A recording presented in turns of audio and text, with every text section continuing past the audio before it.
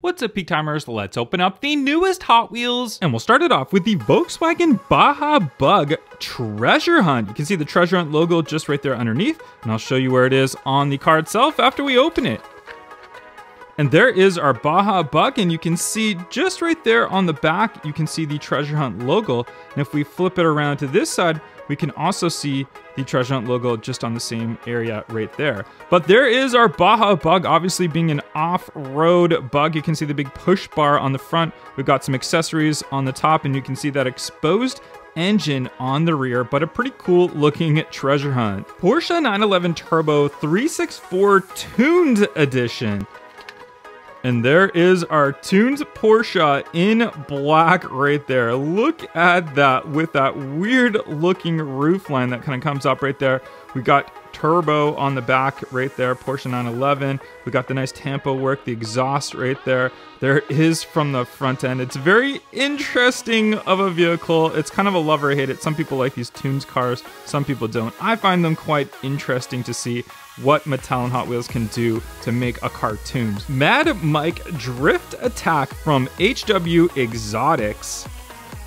And check out the interesting design on this car. We've got that like cut roof line right there, which is super interesting. Nice spoiler on the back, which comes out right there. Very supercar-esque of a car. Obviously made for drift. We can see the Mad Mike's logo on the front end right there. We got the blue base on there as well. Interesting two different wheel tire combination. And there's our rear end. Look at the weird fin that it has coming out the bottom for the diffuser, and then we have the wing on the back of it. What an interesting design Hot Wheels car. Custom small block from Brick Rides. We got a new color variation of custom small block, and obviously if you don't know, we have the removable pieces on here for this one as it's part of our Mega Block series right there. And we'll put these ones back on. You can see the new color variation for these. You can build up and you can play around with it, put all different types of pieces. It does work with Lego as well, but super interesting design of a car. It's definitely something different. Classic 55 Nomad from HW Wagons check out this one right here. We got the big classic Nomad written on the back of it. Just in case you didn't know this was a Nomad, they definitely let you know. We got the Chevy logo on the back as well as some other striping and stuff down there as well. Look at the front end, great detail on that front hood right there. Kind of an interesting roof on here with that kind of jagged look right there. And on the back end, it kind of continues on the rear trunk and hatch right there. Chrome on the base, but all around, there is your classic Nomad. Alfa Romeo GT V6 3.0 from Retro Racers. And this is a recolor in this kind of off-white. We got this one originally in the red. We got the number six on the side. These wheels are definitely something interesting, something unique and different. You can see that hood scoop on the front end right there. No striping or painting on the top. They've left it all for the sides. You can see how much detail they have in the paintwork for the side right there. Same with the back. There's nothing right there. It's all just for that side. And on the bottom, we have a little bit of a matte gray base on this one. HW Papa Wheelie from HW Drag Strip. And this one is in an interesting matte gray color as well. And we got metallic flake in it. We got some stamping on the front right there as well as the roof. Pretty interesting. Look at the design of this car. This is just absolutely crazy. We have the engine in the back right there. I don't, like, is this supposed to be a seat or something? I'm not really sure exactly what that's supposed to be. I think it's just the engine right there. But look at that. Look at the body work. Look at the exhaust coming out right there. It's just something definitely crazy. I believe it is how it goes like this, where it drives forward. So that's probably is the seat. And then it pop a wheelies up and it's got this little wheelie on the bottom right there and that's how it's supposed to go down the drag strip like that. Limited grip from HW Hot Trucks. I really like this new casting right here. It's a really cool looking truck. Love the detail they have in the back. This is a nice matte finish paint job on this one as well. Really cool. Gold mesh wheels on there with some writing on the side of it right there. And you can see that exposed kind of like turbos on the front for that engine right there. That's super interesting. Big push bar on the front so it can push cars out of the way while it's racing. We got that open trunk like right here with no latch or anything like that. It's an interesting casting. It's definitely a, a neat little recolor to this one. Rescue Duty from HW Rescue. And this one is an animal rescue. As you can see, it says right there on the side of it, blacked out wheels with the colored lip on there. So that's kind of interesting of a look. We got the side exhaust on there, the lights on the top, and look at the front end design of that. That's definitely something a little bit different. Animal rescue you can see right there. And on the back end, we've got, looks like like some sort of ambulance style backing right there. Overall, not really my favorite casting though. McLaren Solus GT from HW Exotics. And this is definitely one of the ones that I've been looking forward to, the Solus GT. It's a V10 in real life, so super interesting. They've brought a V10 into this track car right here from McLaren. It's got the center seating solo position right there, so very, very cool. They call it the Solus GT, I think, for being a solo seater car. You can see on the back end right there all the different diffuser, the wing that kind of meshes in. It's an interesting car. It's definitely a little bit different of a design. It, I think this one came from the Gran Turismo game, if I'm not mistaken, but I do like it and I'm looking forward to seeing what they can do with it as far as recolors and maybe into premium. 69 Ford Mustang Boss 302 from the Then and Now series. And I really like this casting, been a big fan of it, even came to the RLC line and it's just done so well. I love the way that they have these kind of louvers on the side just over the wheels. The fenders just look so good on there. They've done it really well. And then the Falcon Edition, Falcon Edition, you can see the nice chrome on the bottom. Look at the colorway that they have blended from the front to the rear. Modern looking wheels on this one. Nice looking rear end for this Mustang. So overall, it's a great looking car. Audi 90 Quattro from Retro Racers.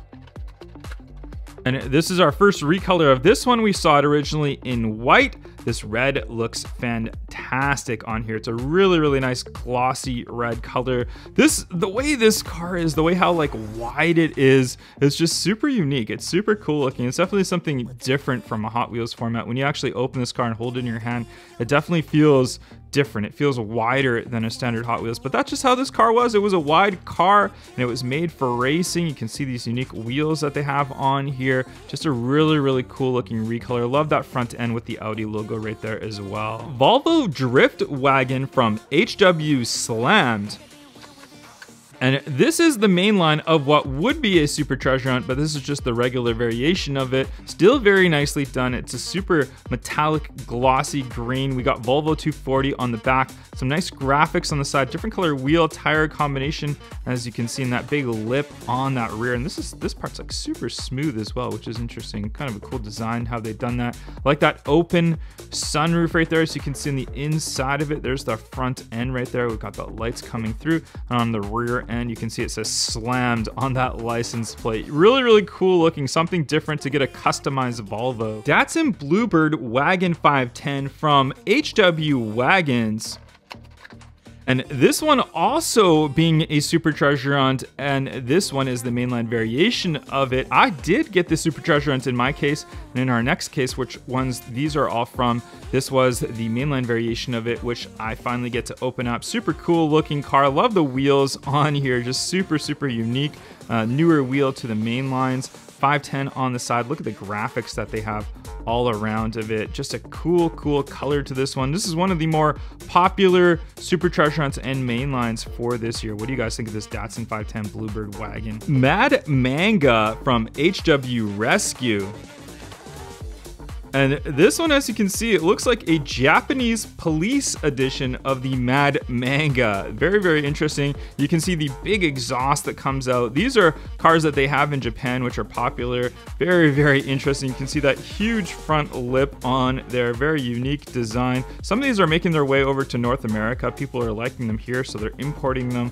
But super interesting to see this one as a police car with those stripes and the exhaust and the police written on the side. What do you guys think of the Mad Mad Manga. 1986 Toyota van from HWJ Imports.